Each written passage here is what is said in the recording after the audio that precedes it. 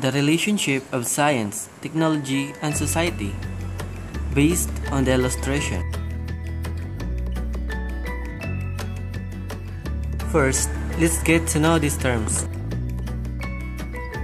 Science is the systematic study of physical and natural world's behavior. It is conducted through observations and experiments.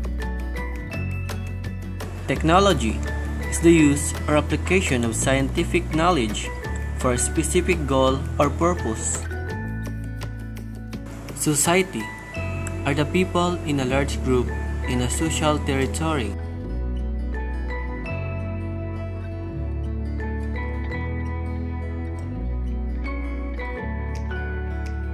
Science seeks to improve society and informs technology of new methods, ideas, or products to progress. With this, technology and society both demand science.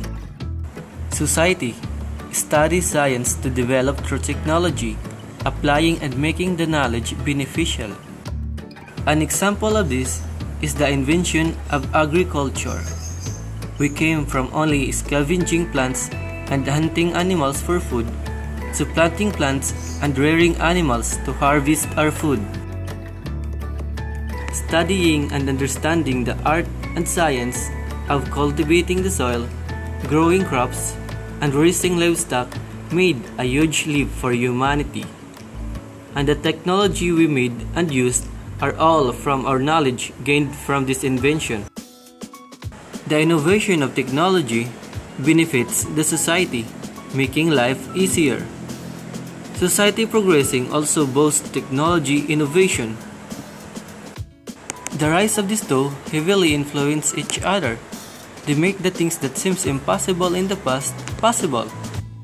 Just like how in the modern age, the internet has been invented, boasting both the convenience of society and innovation of technology in many fields.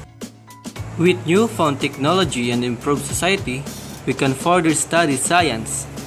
This goes on a circle showing their interconnectedness. That's all.